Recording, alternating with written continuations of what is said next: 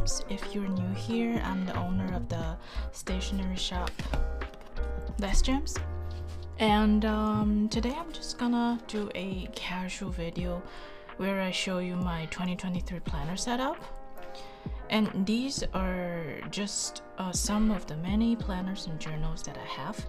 And if you're interested in some of the others, feel free to let me know in the comment section below, and maybe I can do another video about them.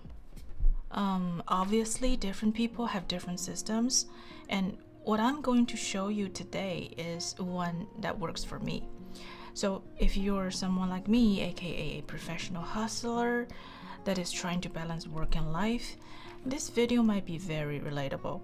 But even if you use a different system, you still might find something useful here. So uh, let's get started.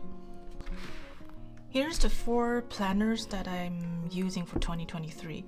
Um, two pocket-sized ring planners, one traveler's notebook regular size, and one small-sized notebook. I refer to them by size and type because I have a lot of letter planners, to be honest, and there's no way I can use all of them at once. So, what I usually do is I change the planner cover every month. For example, this is an Il Bisonte pocket planner in green leather. I might change it into my Giglio ostrich planner in pocket size later um, this month. So Throughout the year, you might notice that I seem to be using a lot of different planners, but really, there are actually just a few at a time. I just rotate the content among them.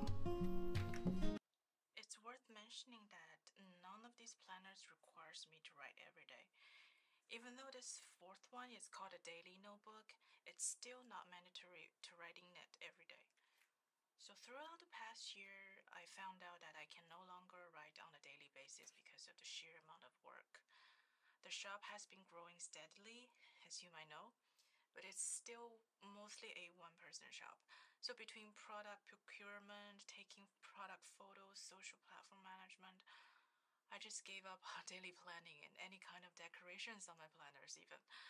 At some point, it just became clear to me that I just have no time for that. Um, however, I do have a list of things to do on a weekly basis, and um, it turns out that it's actually quite useful for me to plan things on a weekly basis to get things done. Therefore, um, most of these planners are focused on either weekly or long term planning. So, before we dive into these planners, just know that these are actually my real planners. So, I will use this black tape to hide some of my personal or sensitive information. And this tape is uh, from MT. The color is matte black, in case you're wondering. This is my main planner, which is a pocket-sized ring planner. Uh, currently, this is a pocket-sized planner from an Italian brand called Il Bisonte in a beautiful green, almost emerald uh, letter on the outside. Uh, it also has um, gold button um, and also a gold ring, which I just simply adore. Uh, although it's an Italian brand, for some reason um, there are just more planners from this brand from Japan, so I just got this directly from Japan. And um, so here I have a little insert, which is a passport size, um, traveler's passport size insert, just a regular one with 64 pages, where I simply just um, record my favorite inks and inked fountain pens using my favorite stamps. So here is the one from Inks Companion from a brand called Beverly. Uh, and here's also the one from uh, Beverly. This is called a bell-shaped um, ink bottle. Yeah, ink. That's the one. And these are the um, inked pen, inked fountain pen record stamp from Little Lou. It's just really handy. This is the um, bird standing on the ink bottle stamp, also from Inks Companion. And I also uh, record the date uh, when I ink the fountain pen so that I have something to refer back to. uh, when I'm, you know, lost in all of the ink selections. So that's that. The main inserts are the monthly blocks and weekly inserts from a brand called Ashford. This is also a Japanese brand. I used them last year and I really like the clean designs um, of each block. And I also like the fact that um, sections are quite roomy so that I can fill in a lot. I also love the side tabs that come with the inserts. These are really practical because they just allows me to quickly go to where I want to go to. So I decided to continue using them this year.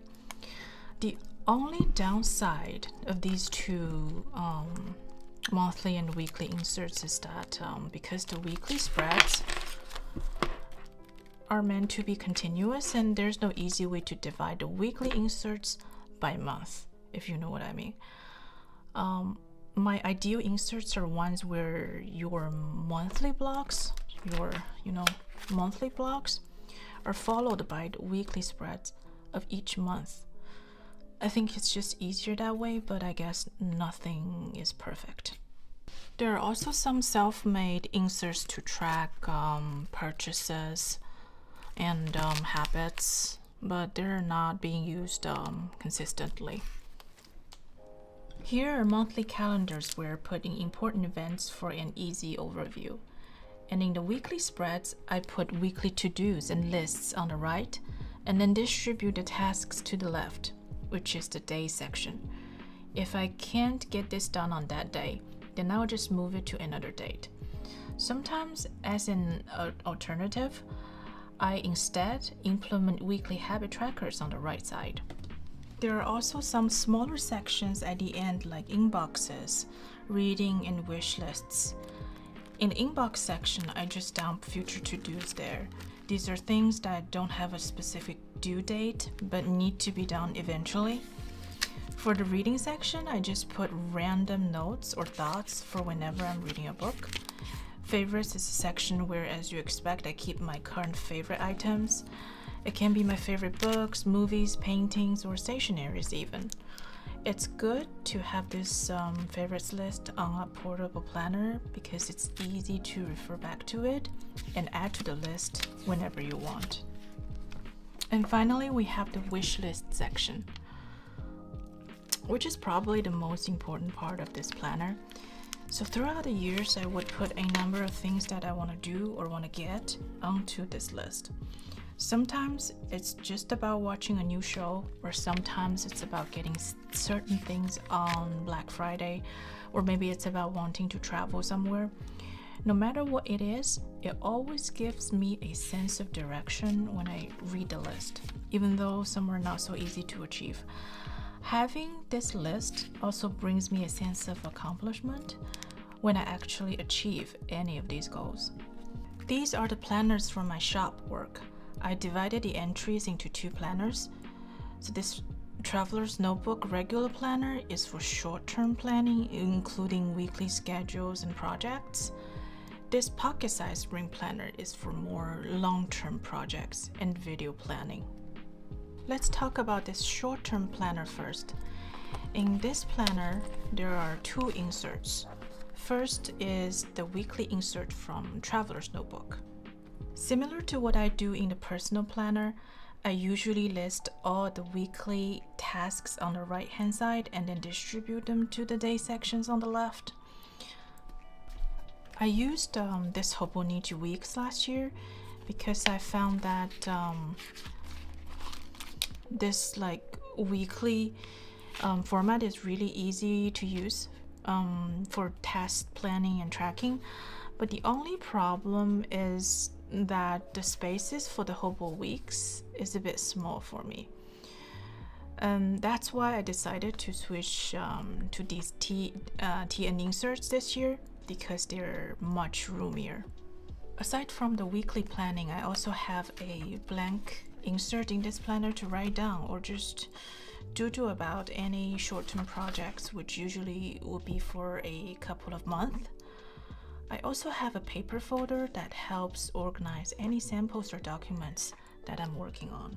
But for more long-term projects and recurring items like vendor information, year-long projects, or company information, I would use this pocket-sized planner, which is currently a purple pinkish pocket-sized planner from a Japanese brand called Braillio. And mm, so far you probably noticed I really like to use pocket-sized planners. This is because I really like the portability they offer so that even if I'm on a trip, I can still bring them with me. So apparently there's a lot of top secret stuff in this long-term project planner so I can't really show much. But from the side tabs, you can probably already get an idea of all the information I keep there. In this um, project section, I also put down video ideas for Reels or TikTok and sometimes for YouTube. I find it easier than writing on a notebook because once I'm finished with a video, I can just take the pages out easily. In addition, ring planners give me the flexibility to reorganize everything whenever necessary. I'll never need to worry about running out of pages or putting the info in the wrong place. And finally, this is the daily planner. I only use this one on busy days to list my daily tasks and to keep me focused on finishing them on time. Last year, I used the Rollbahn Year of the Tiger Pocket Planner. And this year, I'm still using Rollbahn, but I'll be using this slim version.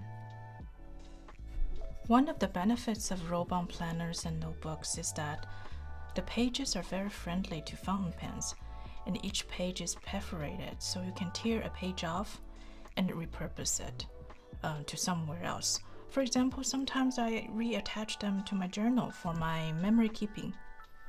So that's all of my planners for this year. It's not a lot, but they're just about the right amount for me. To be honest, sometimes I really envy people that can use five or six planners at the same time. Unfortunately, for me, that's no longer an option. My planners might also not be the most fashionable ones out there, but they're certainly functional for me, and that's what matters the most. So, um, thanks for watching, and uh, I will see you in the next one.